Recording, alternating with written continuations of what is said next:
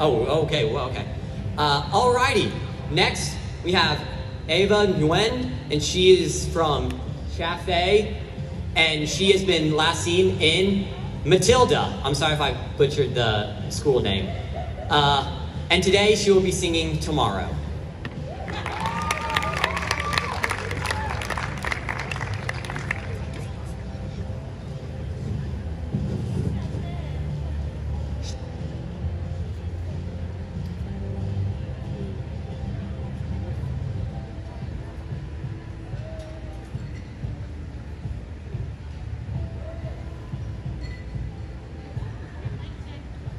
Mic